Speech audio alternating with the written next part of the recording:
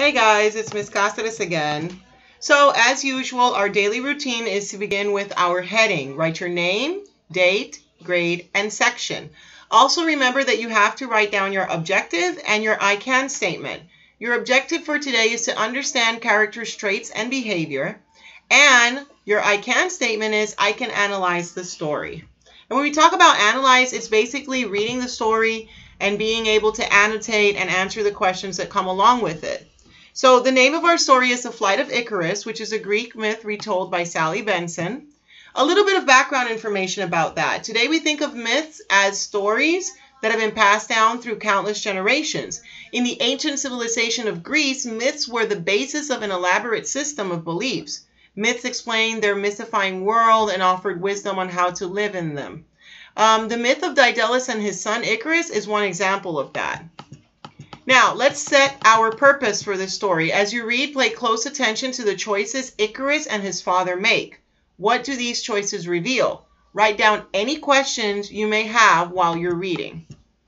So we begin with the first notice and note signpost that comes right after paragraph 1 and 2, which is right here. So we read 1 and 2, and then we come to analyze the genre of the story, which is myth, annotate by highlighting the details in paragraph 1 and 2 that states the problem Daedalus and Icarus face. So we're looking for the problems that the two main characters have in paragraph 1 and 2, and we're going to highlight those. Once we've done that, we can draw conclusions. How do you think Daedalus plans to solve the problem? Why do you think so? And this is based on the problem itself, so we're going to be inferring through that. So we answer that question and we move on to paragraph 3. We read, we analyze, and we do the same with paragraph four before coming to our next part. We have again analyzed the genre, which is myth, and we're going to annotate in paragraphs three and four. And you're going to highlight the words and phrases that show that Daedalus is happy about the work he and his son are doing. That's what you're going to be looking for. Once you've found that, you are now going to infer by answering the following questions. What do these paragraphs suggest about the kind of family interactions that the Greek culture valued? What does that mean? Based on Daedalus' happiness with his son and the work that they're doing, we want to take that information and infer the type of interactions in old Greece and during the Greece culture back then families have. So we answer that question then we have a close read video. We're not going to watch those because the close reads video basically just tells you to take, uh, you know, time and really analyze what you're reading, and we're already doing that. So we come to paragraph five. We read carefully. Remember, as you go reading, you are going to find critical vocabulary. In this case, we found the word moderate. We're going to go to the next one, which is words of the wiser. So this is our notice and note in paragraph 5. You're going to highlight the warning that Daedalus gives Icarus. You're looking for the warning that he's giving his son. He's telling him something really important. So you want to find that in paragraph 5. Once you found that, then we're going to connect by answering the following question. Why might Daedalus warning suggest about one theme of this myth. What might Daedalus' warning suggest about one of the themes of this myth? Because remember what we discussed earlier on in another class? There are multiple themes to this story. So there's not just going to be one. And based on those certain little points of information that you get, or certain points of the story, you can go analyzing the different uh, types of themes that you're going to find here. So once we've answered that, we're going to move on to paragraph six. Again, we have a critical vocabulary word, prowess. Then we have paragraph seven, which also has another critical vocabulary, frantically. And we keep going, and we'll come about to our language conventions. Annotate. Highlight the example of coordinate adjectives that appears in paragraph 7.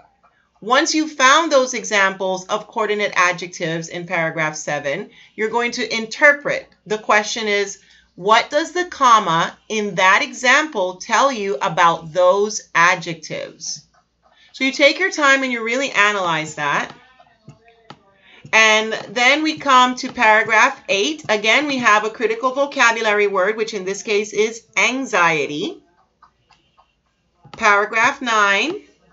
And now we have a text-focused video for you.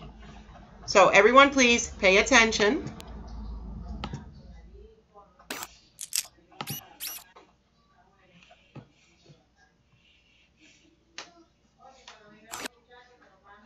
The last sentence of this myth is important because it hints at the story's theme. Remember, a theme is a message about life or human nature that a writer wants to share with readers. However, the sentence includes language that might make the message hard to figure out. So let's read it again. And he mourned for the bird like son who had thrown caution to the winds in the exaltation of his freedom from the earth. There's an idiom here that you may not be familiar with throw caution to the winds. An idiom is a statement that has a meaning different from the meaning of its individual words. So, to understand the idea of Icarus throwing caution to the winds, you have to see beyond the meaning of each word. So, think about it. When you throw things to the wind, like, say, a bunch of leaves, you are going to lose them and not get them back they're just going to blow away. So when Icarus threw caution to the winds, he threw away his carefulness or self control. He ignored his father's advice and completely gave up on being careful.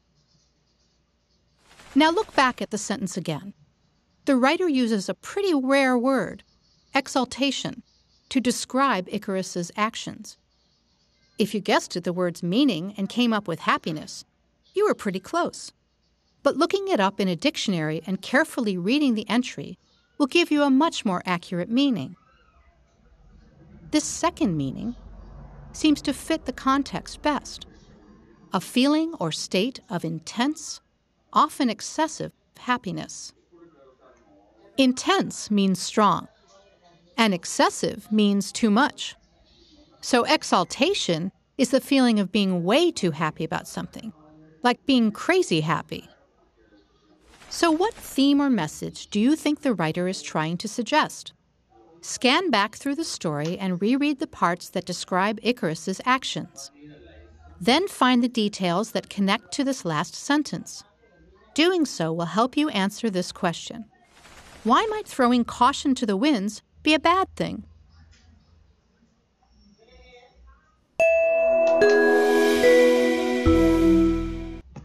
So I hope that video helped you guys understand a little bit more about what we call reading between the lines, which is, you know, breaking the words down and really understanding what the author is trying to tell us.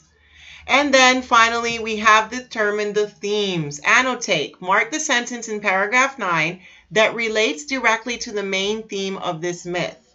Once you've done that, it's time to critique, which comes from the word criticize. Why is the placement of this sentence effective in emphasizing the theme. So take your time, guys. Really read, really analyze. Make sure you understand everything. And before you know, before you write down those answers that you think are the best ones. Well, that's it for me again today, guys. I hope you enjoyed reading The Flight of Icarus. Mythology is one of my favorite things. Um, I would suggest that you look into more Greek myths and Roman myths um, it's really interesting once you get to really get hooked on it and really start reading those. You'll you'll probably enjoy it. All right. Have a great day, guys. Bye.